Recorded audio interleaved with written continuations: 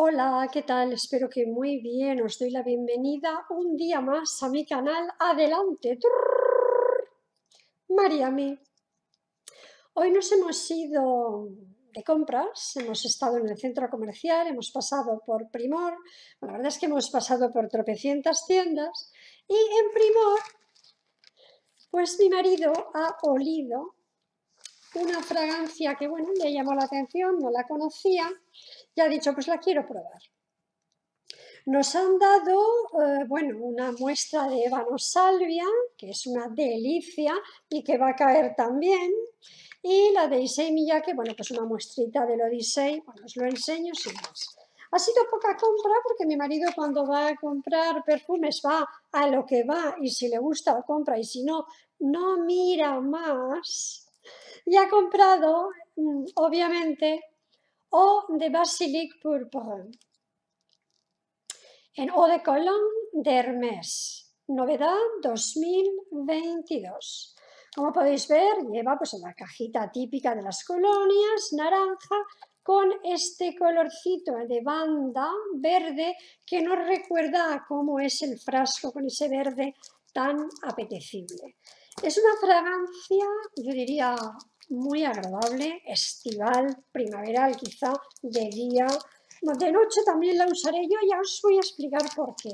Es eh, de la familia, yo diría que esto es aromático, especiado, muy, muy agradable, muy bonita. Es una fragancia muy bonita. ¿Qué considero? Ya tenemos que romper, ¿verdad? Tenemos que sacarlo todo, porque, como sabéis, estas cajitas vienen así y hay que abrirlas lo que no comprendo es cómo meten esto por aquí, pero bueno, pues aquí tenemos la cajita típica de las Eau de Cologne de Hermes. Y es una fragancia eh, verde, es una fragancia, bueno, ahora miramos lo que dice fragántica. Yo la siento verde, la siento aromática, la siento especiada, algo cítrica. Oh, tenía que haber comprado un frasco grande.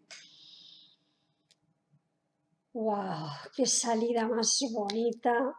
Tiene una bergamota deliciosa, una bergamota verde, pero verde, fijaos el frasco que verde es.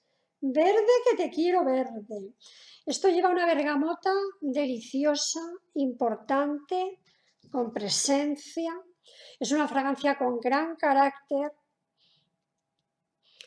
eh, la longevidad, os voy a decir que voy a, voy a decir que moderada, aunque luego la pasé a débil con el tiempo, usándola mucho porque mi marido la, se la ha aplicado y cuando ha venido a casa seguía oliéndola. Y hemos pasado por la tienda de croquetas Terra y Mar y por varios sitios y por em, y por eh, Carlín, por la librería, papelería, papelería Carlín porque quería comprar un cuaderno y unos bolígrafos para las clases de alemán de Leticia, que me ha dicho que quiere aprender alemán con nosotros, aprovechar la oportunidad de que está en casa, así que se irá de aquí, eh, espero que dentro de mucho, pero hablando algo de alemán. Bueno, todo esto venía a que la longevidad de este aroma me ha parecido, para ser una eau de Cologne, me ha parecido moderadita. ¿De acuerdo? Con lo cual mm, me ha gustado y de verdad qué buena es.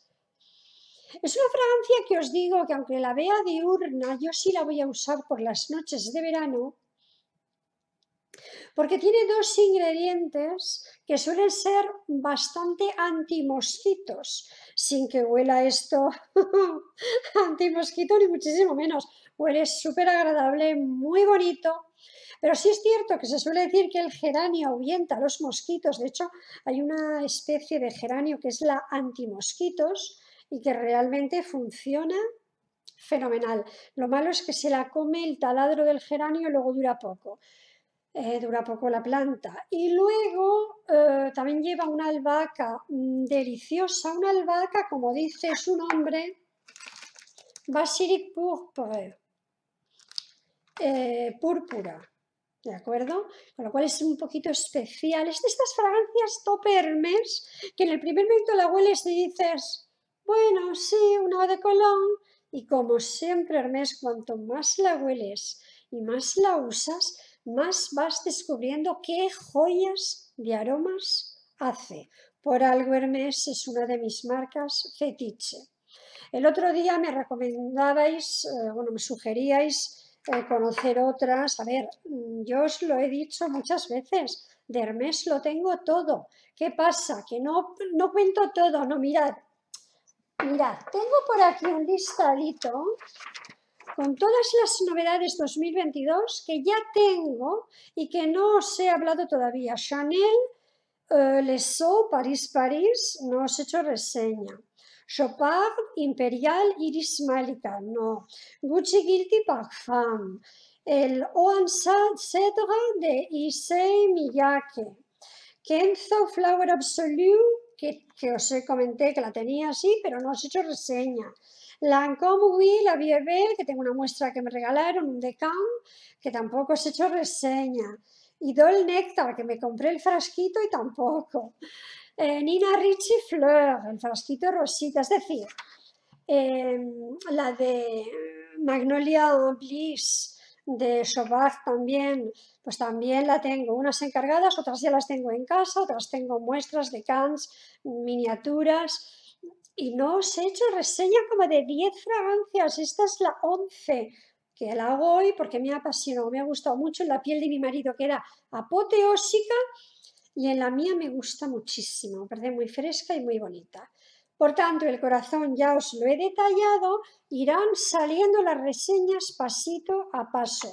¿Que saco novedades del 2022 que ya tengo en 2027? Pues mm, yo no tengo prisa. El, fondo es muy especiado.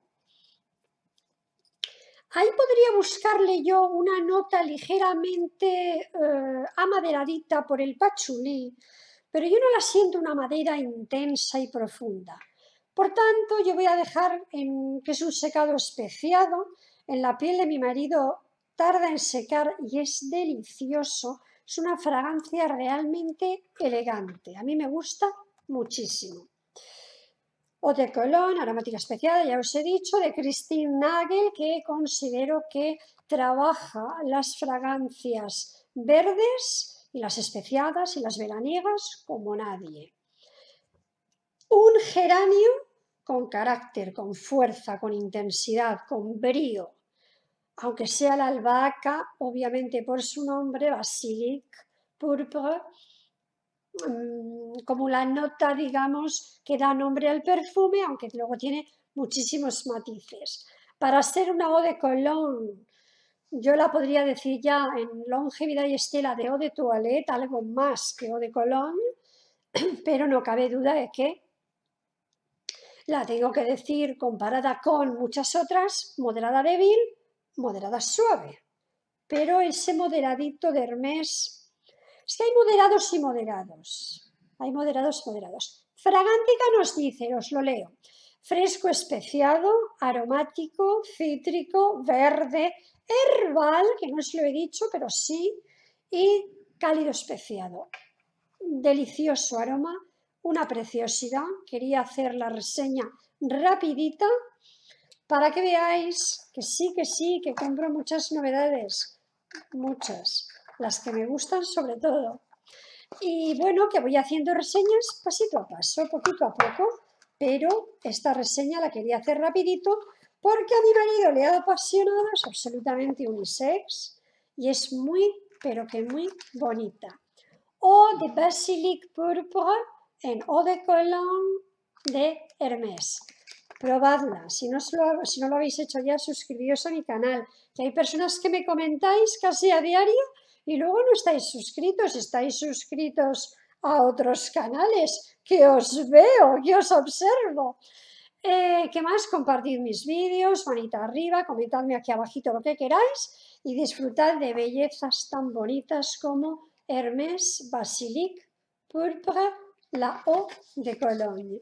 Hasta otro día, novedad 2022. Chao, hasta otro día, gracias.